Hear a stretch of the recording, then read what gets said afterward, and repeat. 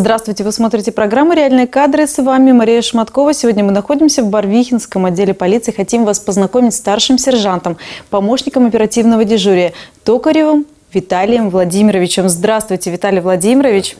Очень рада с вами познакомиться. Вы как раз тот человек, который находится на передовой. То есть именно к вам поступают все обращения, все звонки от жителей. Вот расскажите, как вы попали в отдел полиции? Был ли случайным этот выбор именно этой профессии?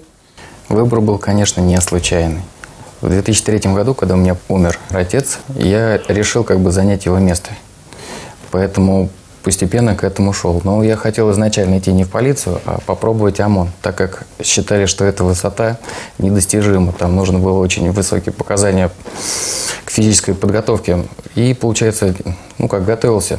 Ходил в спортзал, занимался, пока там работал на других профессиях. И в один прекрасный день все-таки попал попали в полицию. Что вы почувствовали вот в тот момент, когда окунулись во всю эту работу, познакомились э, с сотрудниками, поняли, как все устроено в полиции, поняли, чем, наверное, более близко для вас это стало понятно, чем жил именно ваш отец?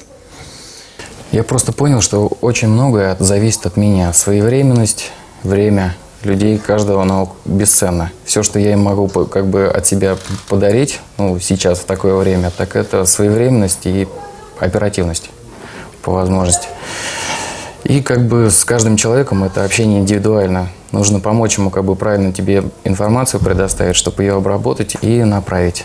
Но вам ведь поступают звонки абсолютно от разных людей, которые находятся в абсолютно разных ситуациях. Кто-то находится в стрессовой ситуации, кому-то, возможно, просто нужно выговориться. Да? То есть тут, наверное, нужны и знания психологии чтобы настроить на нужный э, лад того человека, который к вам обращается за помощью? За время работы в полиции набивается рука по общению именно с разными контингентами людей и потихонечку чувствовать начинаешь уже. А вот с чего вы начинаете свой разговор? Говорите, дежурная... Здравствуйте. Здравствуйте. Барвихинский отдел полиции, помощник оперативного дежурного, старший сержант полиции такой. Ты представляешься, что у вас случилось? ну, человека к себе ну, располагаешь, и он тебе начинает рассказывать. Ты выявляешь суть, грубо говоря, и как бы самое говоришь, что ну, получается, в какой-то степени прям вы как врачи. То есть составляете анамнез да. и понимаете, э, что дальше делать, э, куда передавать, в какой отдел эту информацию. Ведь, по сути, э, в ваших руках, ну, за вашими спинами стоит отдел. Все так. У меня еще есть как бы оперативно дежурный, на нем тоже большой груз ответственности, он как бы помогает принять решение.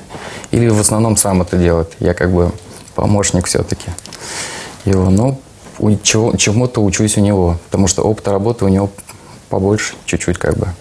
Виталий, но вы вот в процессе не разочаровались в выборе этой профессии? Нет. То есть все-таки, выбор, если, выбор если, если отмотать время обратно, вы бы поступили точно так же? Абсолютно. Почему? Ну, я просто как бы говорю, изначально я просто выбрал, как я буду жить для себя. Что вот будет вот так и никак иначе. Токарев э, Виталий Владимирович у нас работает уже с 2016 года. Он э, раньше работал в Воронеже в ОМОНе. Э, в общем-то, грамотный, исполнительный, дисциплинированный сотрудник, э, который знает законы, выполняет приказы. И скромный, в общем, такой сам по себе, чуткий товарищ, э, пользуется заслуженным уважением и авторитетом среди личного состава нашего коллектива ОПСП Барвихинская. Ну, в двух словах могу рассказать, как бы, что человек, еще раз хочу повторить, что очень скромный и про свои как бы, подвиги никогда никому не рассказывал. Ну, на самом деле, Токарев Виталий Владимирович, он, э, наш помощник дежурного, награжден государственной наградой. Это орден мужества. Ну, за что этот орден мужества получил? Ну, как бы вкратце хотел бы сказать, что события 2008 года, это пятидневная война э, э, грузино-осетинская, э, в общем-то, где он принял э, активное участие – Э, служил в одном из подразделений, называть э, которое не буду, э, в самый неподходящий момент, когда как бы его подразделение, которое выдвигалось на боевые позиции, было обстреляно солдатами противника.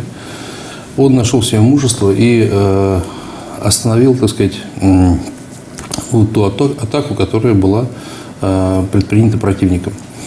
Сохранил, соответственно, жизни своих товарищей и командиров, и, соответственно, таким вот образом совершил определенный героический поступок, который был оценен э, государственной наградой нашей Родины. Если вернуться к вашей семье, к вашему отцу, э, как он вас воспитывал, о чем он вам рассказывал, кем он был, вот, что он действительно таким послужил для вас ярким примером, каким он был человеком? Он был справедливым, честным.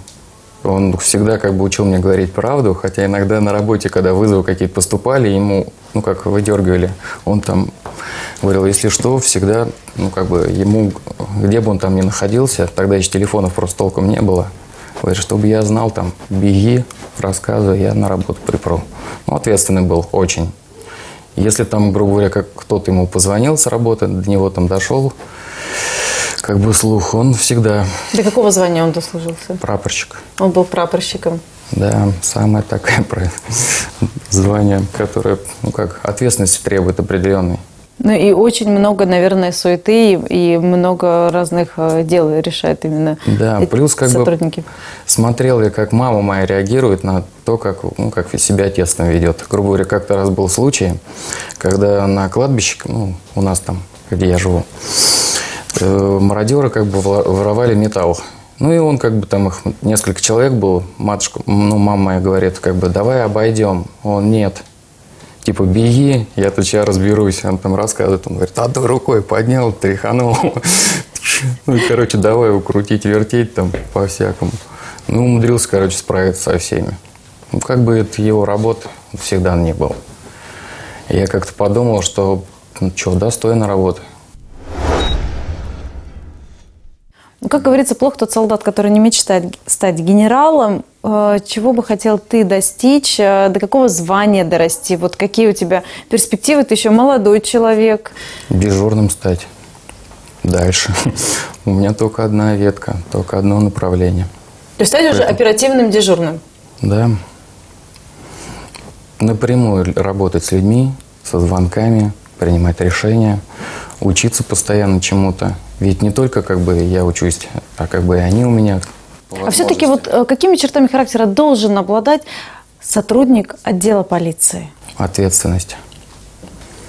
Должен понимать, что он говорит, и арбитражную степень восприятия информации, потому что нельзя принимать чью-то сторону. Нужно быть на стороне правды, как есть. Ты уже сказал о том, что, конечно же, ты работаешь в коллективе, рядом с тобой друзья, коллеги. Вот э, расскажи о вашем отделе полиции, какой, ну, какие твои друзья? Готовы ли они всегда прийти на помощь? Всегда готовы прийти на помощь. Они все профессионалы здесь. У них отличные показатели, с ними работать просто. Как бы я со своей стороны тоже как бы иду навстречу, стараюсь им максимально как бы упростить работу, чтобы где-то, может быть, даже давление какой-то рабочей обстановки снизить. Ну, это моя работа.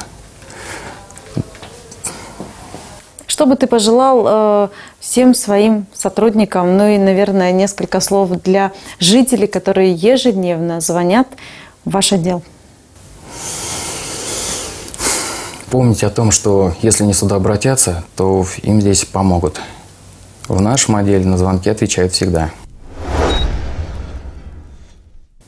Виталий, спасибо тебе огромное за интересную беседу. Мы тебе желаем удачи. Больше не можем тебя отвлекать, потому что звонки раздаются, и тебе пора к выполнению прямых обязанностей на работу. Спасибо тебе огромное. Вы смотрели программу «Реальные кадры». Всего вам доброго и до свидания.